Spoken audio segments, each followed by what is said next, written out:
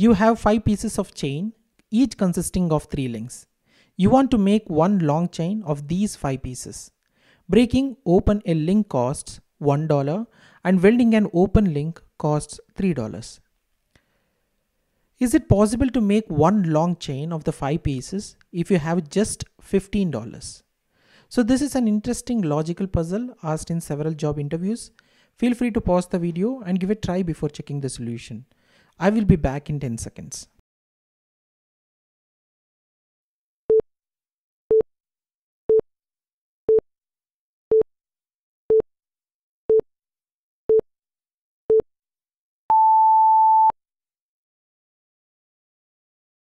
Let me explain the solution now.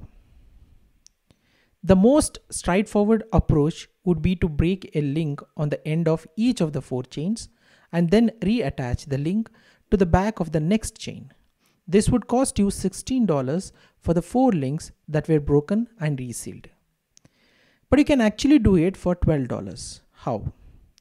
So instead of breaking a link in each chain, break all three links in one of the chains and then use those three links to attach the remaining four chains together. Let me elaborate the solution now. Let us name the chains as 1, 2, 3, 4, 5, each having 3 links.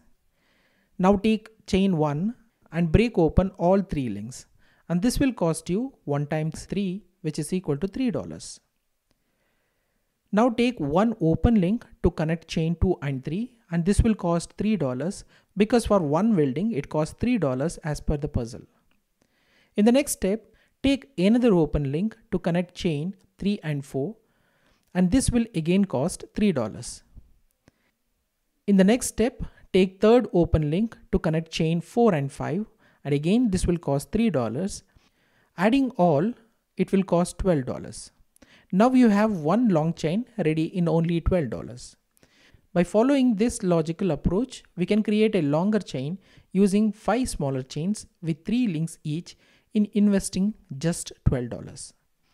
That's all for this video. Let's meet in the next video with one more interesting puzzle. Thank you.